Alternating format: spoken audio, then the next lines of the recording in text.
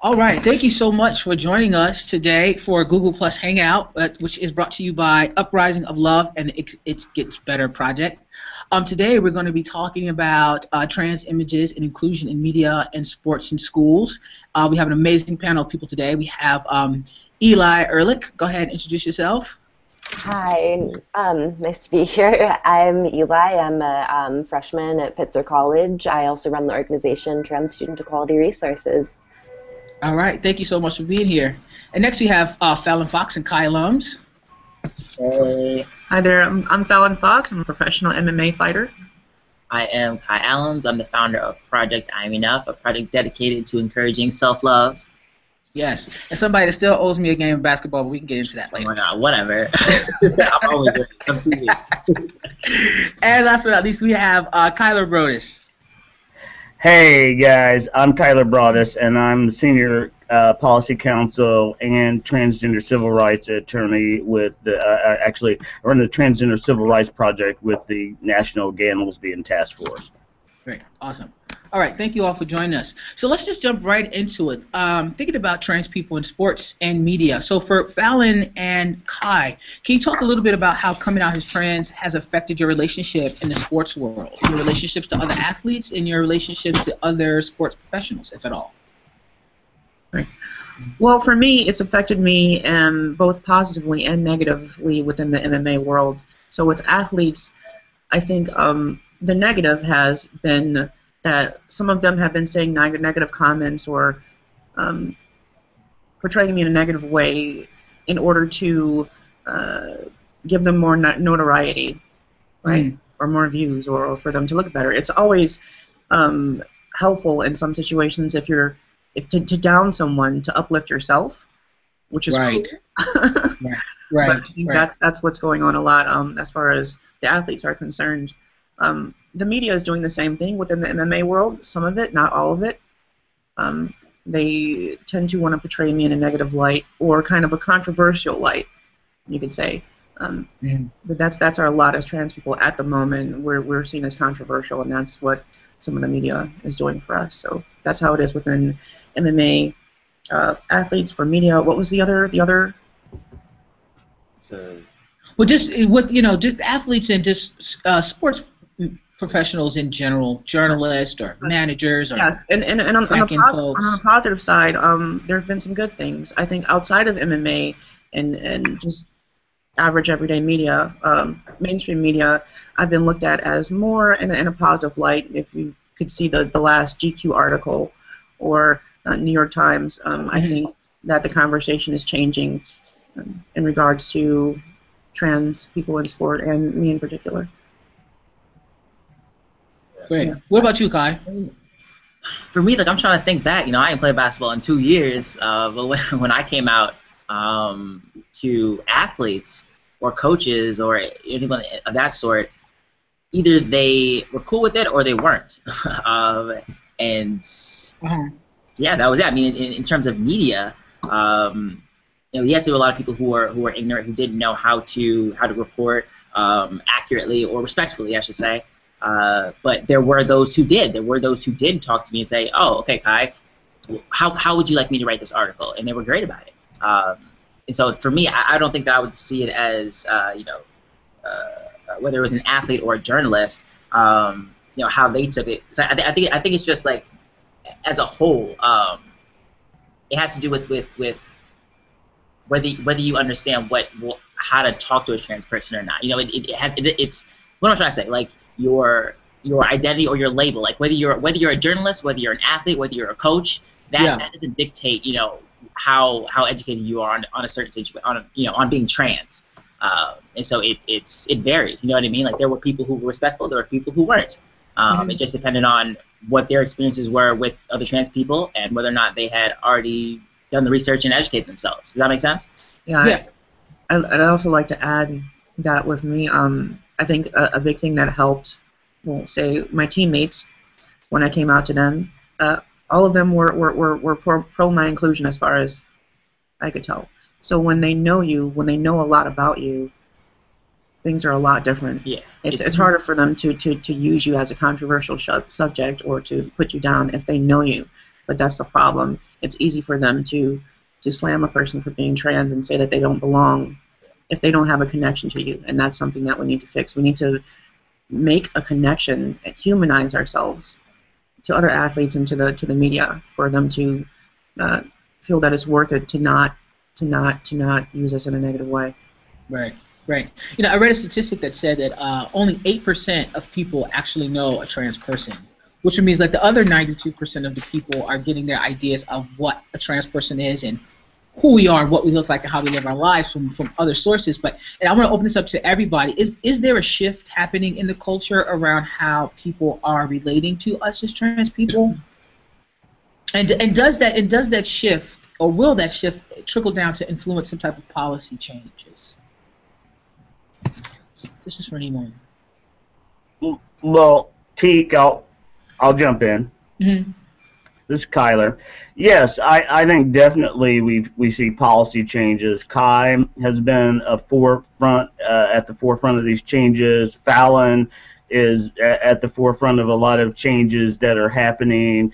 These two are leaders uh, with lots of changes, and these are trickling down to grade schools, if you will where these conversations are happening. And, you know, we see at the collegiate level, obviously, where Kai was instrumental, but now we see, you know, high school associations having these conversations. We see right. junior high, uh, uh, and then we see non uh, school.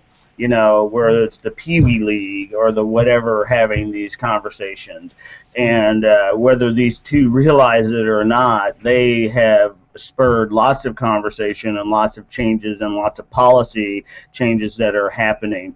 Even though there's only, as you say, 8% that claim to know, there are lots of us out there that um, that they really do know us. So I think there's lots of changes that are happening.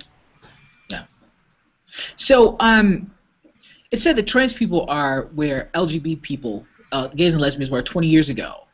Um, so has the needs of the trans community fallen through the cracks of the larger community? Has the T largely been silent? Yeah. It's for anyone. Go ahead, Eli.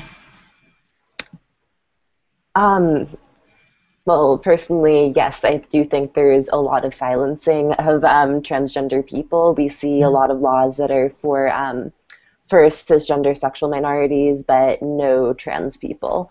And this is something we're seeing less and less of, fortunately, especially with more media representation that is fair and accurate, which is really fortunate. And now we're starting to see um, some uh, policy that's specifically for trans people, like um, the School Success and Opportunity Act out here in California, which allows trans students to participate with their own gender in school. Great. So, what do you think? So, what is it that we need to do so that the trans community um, is on par uh, in respect to the level of understanding and acceptance that um, the gay and lesbian community is getting now? What what are the steps that need to be taken for the trans community? I don't want to take up a lot of space. Does anybody else have? I'll jump in. I, Please, you know, I'm a proponent of us being leaders of our own movement and embracing that, and I think that's really important. And uh, uh, and while you know, it takes all of us to build a movement. I think that more of us have to step forward and lead that movement as trans people. And it's great to see Eli doing what Eli is doing, and and Kai and Fallon doing what they're doing by being out there and in the forefront. And I think that's what it takes uh, by having no fear and doing what these folks are doing. Yeah, yeah, you're you're right. Um, I I would say that it's it starts with us um, and I, I, I'm always an advocate for self-love. Um, and I think that, that we, you know, I'm speaking from my experience. You know, I, I need to learn how to love myself before I can ask anyone else to love and understand me. Um, and, I, and I see a lot of, of self-hate within the trans community. Um, and I think that if, if we, we took a moment to really just love ourselves, you know, and, and then took that step forward to, okay, now let's, now how are we going to go about, you know, educating the LGBT community or cisgender people? um, on on how to better talk to us. Um, I think that that's that's the first step. And the first step is what am I doing for myself? Yeah, yeah, and you know, and also I think I think what's really important is um, being visible too, making sure that we have a really strong and visible presence, you know, in the community and outside of it. Fallon, were you going to say something? Yeah. I, th- I think we also need to make a push um, for the LGB and cisgender community Mhm. for them to understand themselves, because right now we're, we're running into a problem where uh, gender and sexuality has Yeah. been has been has been crisscrossed, and, and they, a lot of people don't understand that it's, it's it's a separate issue. So I think that once cisgendered people and LGB people understand themselves, they'll stop uh, putting us as, as us in that position where they believe that we're just like them or like we're crazy or something. You know what I'm saying? They need to understand what gender identity is, Mm-hmm. and, and I think that'll that'll go a long ways. Do you want to explain a little bit of what the difference is between sexual orientation and gender identity? Gender identity is, is, is all about gender. Sexual uh, expression and sexual identity is all about sex. It's a different thing. It's about you know being with someone and, and sexual desires. Gender identity is who you are. Um, I think Kai, Kai can explain this. Yeah, a, mean- a good- very good way of explaining it. Okay. I mean, I mean, um, we talk about you know gen- gender stuff. To understand that, we, we need to understand that gender and sex are two different things. Gender is who I am and how I see myself. My sex, those are my body parts, right? And then you have sexual orientation. So me as a trans man, how I see myself, I, I am a man. That has nothing to do with who I'm attracted to. Tomorrow Right. I might want to be with a guy. The next day I might be with a girl. Who knows? But that's me, Right. right? That's Right. God. But that does not take away from the fact that I am a man. And why am I a man? Because I said so. I can be whoever I want to be, just like any of you. Right, right, exactly. Um, so we have a question here from Sue and Sarah. They say, do you prefer to socialize with other trans people or prefer to mix within the wider community? Can you repeat? Sorry. It said, um, Sue and Sarah, they asked, do you prefer to socialize with other transgender people or prefer to mix within the wider community? And this is open to everyone. And and why? That's a good question. I mean, I'll go if y'all ain't ready. I mean, I, I mean, I prefer. I would. What trans people are amazing. like, because like for me, like it's, and I'm not saying that you know trans people are better. I mean, but no, I mean like, but like to, for for me, being trans is simply defining defining who you are. But Right. but those, but not everybody who defines who they are is trans. So so so it's like I love being around people who can say, you know what, I'm not gonna listen to society. I'm gonna listen to myself. I want to wear this outfit. I want to like this person, and I'm gonna do this job, and that's me. You know what's what's more amazing than than self-definitive? You know what I mean? Right. Self-determination, right, yeah. Beautiful. Yeah, and that's that that's what trans is. Yeah. How about the rest of the panel? Socializing with, preferring to socialize with trans folks or mix it up a little bit? I mean, Eli. mix it up too, but you know. I think. Uh, go ahead, Eli. Go ahead. Oh, sorry. Um, well, personally, I I mean, I really enjoy being around other trans people because I um, I mean, I just love the community. The trans community is just so great. I love people that I can relate to, and also the larger queer community is great too. Mhm. And I really love to educate people and have discussions about these issues, whether they're trans or not. How about you, Kylar? Um, I like to mix it up. So I like all people. Um, and you know, I think there's enrichment from being with trans people, and of- course, I get empowerment, and and uh, by doing the work I do, and I spend a lot of time with trans people and in the greater queer community, probably more time than I do with with other people. But but I think it's important for me to have that balance. Kylar, do you think there's a lot of resources uh, here in the States for trans folks or not? Well, uh, not to give away anything about me, particularly my age, but um, but um, given what I know, there are lots more resources than there have been. Could there be more? Definitely, there do need to be more. You know, there are pockets of people that feel like they are not serviced, they're not heard, and uh, they're they're not internet accessible. They might not even have a phone. And I think we need to be cognizant of that in society where people have lots of privileges. You know, us doing this Google group is a privilege, and I think we need to be aware of that. So. Right, right. Um, so switching gears a little bit, let's let's talk about the media. Uh, you know, we've seen some fairly misguided representation of trans folks in the media. You know, we had Carmen Carrera and uh, Laverne Cox on Katie Couric show with the whole questions about the private parts. And we had this whole thing with um, the tragic incident with uh, Dr. Vanderbilt, who took her own life, um, you know, during the process of this of that article, the Grantland article being written. Um, so, what role does the media play in the perception of trans people? Well, I think I think the media plays a, a humongous role. That's how people learn. The the general public learns about trans people. So. Mm-hmm if they if the media portrays us as being freaks mm-hmm. or some or people who you can ask anything to or ridiculous things like oh what what is the status of your genitals? Right. You know right. people every everyday people walking down the street are gonna do the same thing and, and treat us with that much disrespect and that much misunderstanding. So i think it begins with the media. The media is how people learn about just about everything nowadays yeah. Fortunately, I think it's changing be- a little bit because we have the internet, and at the flick of your wrist, you can you can find out anything, just about anything. But people are lazy nowadays, so yeah, we need to work all angles uh, of media, internet, mm. uh, mm-hmm. books, media, TV. Yeah, which I mean, which which again, I I think it, it makes it uh, more imperative that that we create our own media um, and, and, and that we are visible. Uh, I think organizations like you know Black Trans Media um, or work that um, I've seen that uh, Kortney Kortney Ziegler did. His Black, uh, what's it called? Still Black. Still um, black. Yeah, still black. Mm-hmm. Yeah, yeah. You know, those, those are you know, great resources to, to go and check out. You know what it's really like to be you know a, a black trans person, but just you know trans people in general. Mm-hmm. Um, yeah. Yeah, I agree. We definitely need to have some ownership over our own images, but it's also about being able to really pinpoint um, what exactly the media, what kind of stereotypes the media is perpetuating about us. And mm-hmm. I think that it, it gets complicated. And, and I was saying this the other day uh, uh, when I did the CNN appearance about about Dr. Vanderbilt is that you know, we have we have trans people like us who are very out and uh, out and talk about these things, right?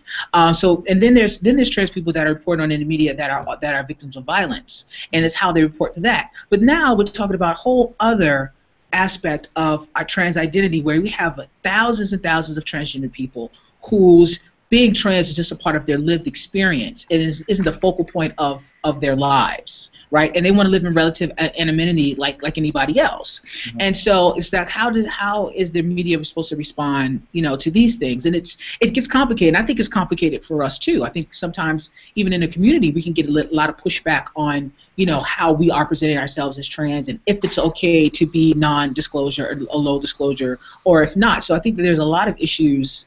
Um, you know, when it comes to visibility, when it comes to self-determination, that have to be kind of, uh, you know, hashed out. Mm-hmm. Yeah. I mean, I would. I mean, I would never. I would never encourage anyone to, to, to speak out or be visible if they didn't feel comfortable. You know, every everything is all about you. If you don't, if you do not want to say something or share something, do not share it.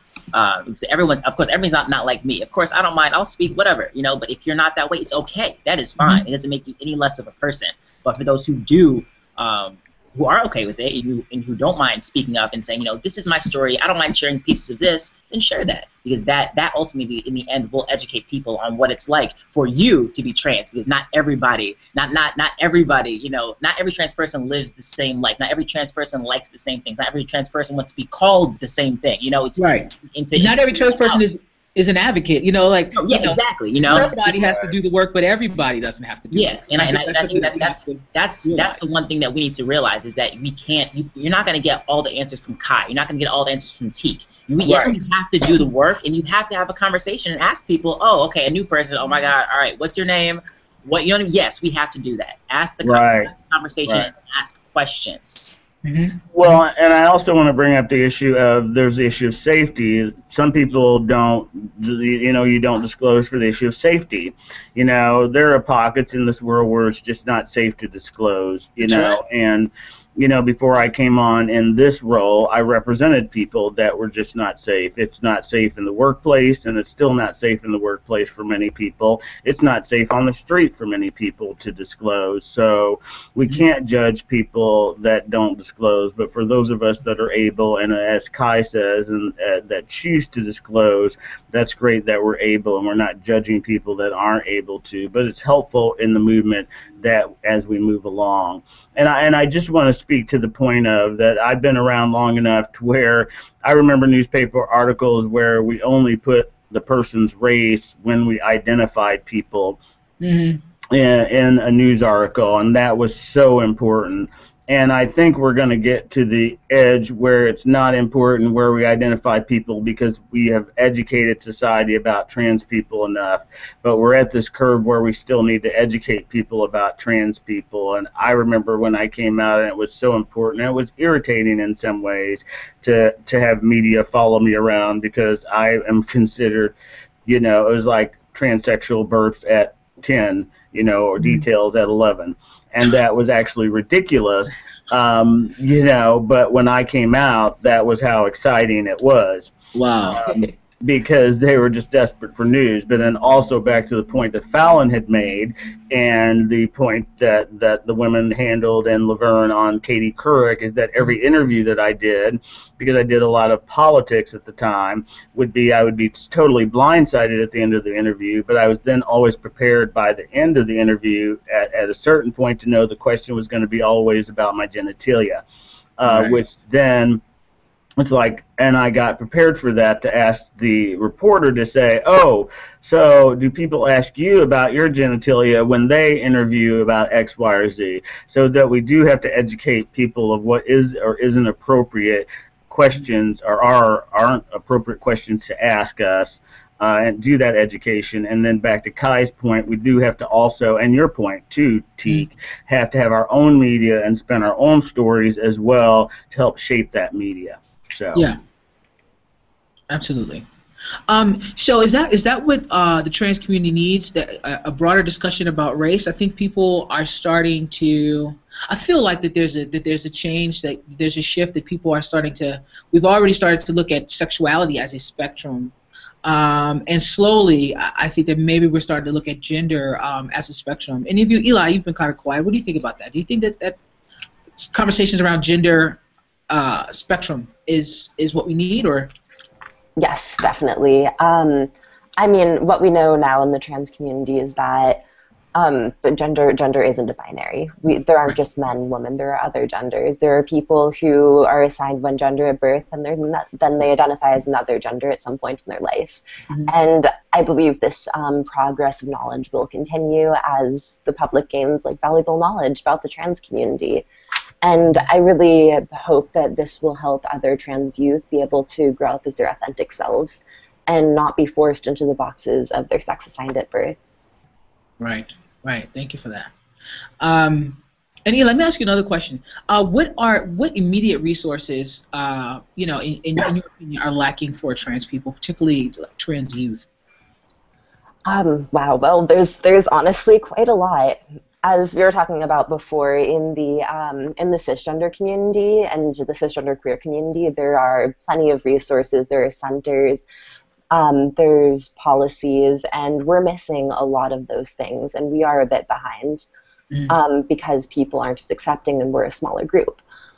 Um, when I mean, I came out 10 years ago when I was eight years old. There are no resources, and it's really great to see the progress that we're making. And if we continue to make this progress, we will be caught up, and we will have the same opportunities as um, as other cisgender queer people. Hmm Great, thank you. So, you know, um, when Laverne was on, when Laverne Carmel on Katie Couric, Laverne referred to herself as a, uh, a possibility model, which I thought was really great. Um, you know, being that we're all here, we're out, we, we probably serve as a possibility model for a lot of people, but who has been uh, that model for you in your life? This is open to all of you. Personally, for me, it's been um, Parker Marie Molloy, who's this really excellent writer and trans advocate. Mm. She is total. She is totally amazing. I, I have a lot of respect for her and being able to um, to publicly speak about personal experiences and also political things. And a lot of re- the respect also comes for her um, speaking out against inappropriate language used by some media sources that she even writes for. And that's I have a lot of respect for that. Awesome. Anybody else? Who's your possibility model? My possibility models, I would say, would be every transgender per- person on the face of the planet who has a job or an occupation Mm.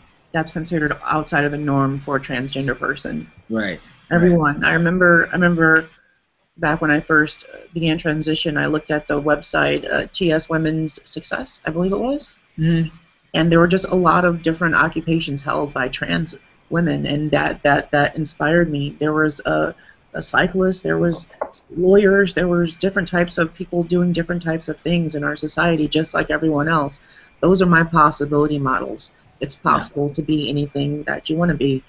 Yeah. Even an MMA MMA fighter, for that matter. Yeah, and that's so important because I think a lot of people think that trans people we that we exist in some kind of little bubble, but you know, trans people are in all walks of life. I know a trans guy that that drives an 18 wheeler. You know, I know an artist. I you know I know you know lawyers and doctors. Like we're you know we're in, we're in there. We're in, integrated into into society. I think that's really important for people to to know that we're not you know we don't exist in like you know fantasy camp or something. like we're here. You know, we're in your families, we're in your classrooms, we're in your you know, in your offices, you know, all these things. What about you, Kai? Um, I would say, well, first of all, you know, I love Laverne, love Carmen, uh, two amazing women, do amazing, doing amazing things. Um, my possibility models. I mean, you talk about possibilities, and so that that that changes every single day, right? Like every time I wake up, I meet somebody, and when I see, you know, all these amazing kids that I get to speak to, they inspire me to do so many amazing things, and they they, they teach me things that I I didn't think that I could do. Uh, when I see when I see someone walking down the street, when I see a man walking down the street looking fabulous, having all heels, you know, a dress, you know, doing things like that, making that, that gives me the confidence, you know, to say, you know what, maybe I could do that. Why can't I do that? You know. Um, Right. So my, my possibility models change every day, and right now my possibility models is Fallon Fox, is Tiq Milan, I mean it's Eli, it's Kylar, you know, it's, it's all y'all. okay. Kylar, what about you? Well, you know, I, I don't want to be cliche, but I'm following Fallon and Kai, and, and I have to agree. You know, my possibility models uh, change every single day because uh, when I go out and speak, um, which which really is what it's about to me, it's about uh, making a way so people didn't have to experience what I had to experience. Yeah. So when I go out and see that and see the four or five year old kid, the parents really got it and provided for the kid, that's my possibility model. And it just brings tears to my eyes. So uh, I have to agree with Kai and Fallon. Mind change every day in that way as well. Um, when I first uh, got into the experience as far as being trans, there were actually no possibility models for me out there, and I do think that's important uh, to have those possibility models uh, for folks, uh, so you know you know it's possible. Right, right, exactly. Yeah. Okay, so we have a question here from Sage Fox, and the question is, what do you consider uh, the biggest challenges, the biggest challenge facing us today in the fight for transgender equality? There's one biggest challenge. I know for me, I think it's I think it's public perception. It's just how, how people perceive trans people. I think I think that there's a lot of misconception out there exactly of who we are, and I think that that, that can lead itself to uh, violence and discrimination, and people thinking that, particularly with trans women, that you know, particularly trans women of color, are you know are just are not a whole human being, but are just the sum of their parts. Over sexualization and things like that. I think public perception is a huge issue. Anybody else? Yeah, I, I mean, I, I agree, Tiq. I mean, it's definitely uh, public perception uh, because if, if public's perception was, you know, if everyone understood what it meant to be trans, what, what would we be fighting for? You know, every, everyone would get it, and you know what I mean. So I feel I feel like that that definitely is the, the biggest thing um, is the public perception. Yeah. Um, and I have to jump in and agree also. And it's not even just trans women that they over sexualize. I mean, it's even it's all trans people. It's Yeah. just that unfortunately trans women are put out there more, uh, but they over sexualize all trans people, and that's all they relegate or think when they think trans. Uh, and if everybody understood, we would have no. I wouldn't have a job. We sit- right, You know, I wouldn't have a job. We wouldn't be sitting here having this conversation right. uh, because we wouldn't have to pass legislation to protect people because people would just get it and we wouldn't have to worry about people being attacked. So, Right. I think you know public perception is, is key. I think the biggest hurdle is getting these corporations and businesses and media to to under, to, to feel that it's, it's, it's profitable to portray trans people in a positive light. Because right now, I don't think that they believe it's pos- is, is profitable Yeah. to show us po- positively. And so that's Yeah. why they're always showing us negatively. So we need to like let them know that it's profitable to show us in a positive light. That's a good point. Yeah, you know, and I think the reason why uh, oftentimes trans women kind of bear the brunt of, you know the abuses and of the stereotypes is is a broader conversation just about around gender and around women. You know, we're talking about this intersection of not just transphobia and sexism that exists for women, for non-trans women and trans women, and then you know that coupled with you know the fetishizing and the objectifying of transness, you know, makes it makes it really hard, you know, for the trans girl. So I think that I think for, for trans men, just being a man gives you a place of privilege. And it's important for us to be able to deconstruct that privilege so that we don't start to recreate it in, in our world as transgender people or as people that are on the binary. You know, we don't understand not all trans people exist on the binary, but for those of us that do, being able to really deconstruct these kind of modes of socializing with each other, you know, to create something new, to create a new structure. And, and and I can agree with some of that, but I want to give you some pushback. And I know Eli hasn't spoken on this. There is some privilege, but however, there is not always privilege for people that transition. Uh, you know, there is lack of privilege actually for some that transition from female to male, and that happens because there is resistance or reluctance into the boys' club that comes with that. And then for men of color, there are issues that occur that don't occur for non-men of color. So Right. yeah, while some privileges are accrued, there are lack of privileges that are not accrued for men of color. And Right. then also there are there are other things that I could hash out that really uh, that trans men don't get. Uh, we can go and we can hash out health care, for instance, and I mean we can break it down and and, Right. and so I don't like to compare. That's why it's difficult to compare oppressions to oppressions, and I think we sort of need to be careful about that in the trans community because we tend to do that. And I think if we really broke it down on paper, paper we'd be surprised about how many trans men do do sex work. And I don't think we've Oh, yeah.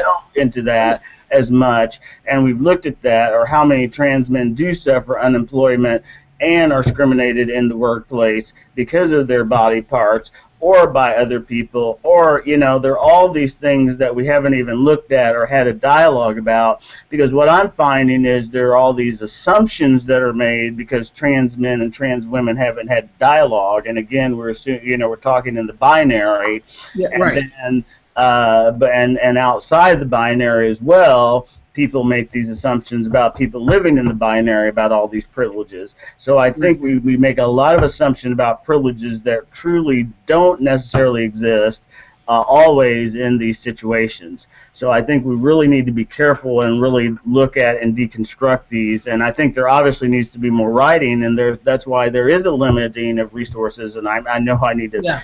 Not hog up all the space, but I just really wanted to give some pushback to that that commentary. Yeah, but and, and I appreciate that, and, and and I have another question to ask. So, being that there, there isn't a lot um, of observation of trans men, like you said, there are lots of trans guys that are involved in sex work and that have to deal with you know X, Y, and Z. But why is it that that hasn't that hasn't had much of a conversation? Why isn't why are, we having that conversation as well as you know we talk about trans women in, in, in sex work and all of these things? And I think a lot of times people think trans, they think trans women. Why is it that there isn't that equal kind of footing in that regard. Not putting pushback between us and the community, but it's just people from the outside of the community looking in. What is what is that about your opinion? You know, I don't know that I can answer that fully, but I do think that trans women have been fetishized more, just generally and sadly and poorly because of just our just the way we have looked. And you did point that out by about women, and then that that uh, that gets them in that situation. But then we can go to the other side: is why are trans women surgeries less expensive than trans men surgeries? You know, we can go to that. And it's like, Right. well, because science has spent more money on men in general to do studies, and therefore, you know, and we can say, oh, well, yeah, it's easier to take something off and put something on. But really, there's been more money spent on doing studies in that area than there have been on the other side. I mean, so you can Right. go and you can delve in and you can do a deeper dive to all these questions. Right. And so I think we need to be. That's why I say we need to be careful about comparing oppressions uh, and making these statements uh, without diving in and looking further. Right. Because that's what a. Go ahead. Go ahead, Eli. Go ahead. Oh, um, well, my question is um, earlier, I'm assuming you were referencing um, when you were talking about men that um, a lot of trans men fail to recognize like that they have male privilege and that they do have the privilege of being that. And I also want to comment that most of the visibility around trans women is um, unfortunately brought on us because we are a lot more visible in the sex work community because more often we are the ones that are forced into it Right. um, and forced into um, all these awful um, positions. The blunt of transphobia and cissexism is directed towards trans women, and so that's why most of the conversation is um, is around us. right. Right. Excellent, Eli. And we can hide, you know, on that edge, but that's one of the edges we can hide on. But, you know, sometimes we can. I've heard horror stories of trans men being forced into sex work because they've been outed and they can't hide. Right. Right. You know, when somebody knows that they're not, or you know, of, of their history, etc. So I mean that you know, so that's why I caution us when we make these statements that we need to be very cautious about comparing oppressions to oppression. I mean, I'm totally down, and I totally you'll see the work that I do, and I spend a lot of time because it is we need to spend a lot of energy preventing and protecting the trans sisters that are in this position, but we also need to be careful about um, there. There's lots of other work to do as well. Oh, absolutely. Yeah, and I think that and I think that this whole this conversation we're having right now really lends itself to the idea that you know there's a lot of conversations that we need to have internally within the trans community talking about how kind of this these these ma- this matrix of oppression that exists for everybody. We talk about like sexism and misogyny and how that can trickle down into our community and how that works. But it can, but but Kylar, you're right. It can get very sticky because you don't want to get into this place where you're where you want to compare oppressions. It's you know you want to kind of get to a place where we can kind of just deconstruct how these things trickle into our, us psychologically. You know. Right, and you threw in race, and you asked that question of race earlier, and then you ask, and then you put gender in that place, Tiq, and you got to throw in race in there also. You Yeah, know, absolutely. race plays a major role uh, in all of this as well as we deconstruct all of this as as well. You know, and race is huge, and it's not talked about, and it's been part of this whole uh, equation, and it's still not very talked about um, as we do this work. Right. Very true. Very true. Um, uh, Kye, uh, Alan, you- are you- No.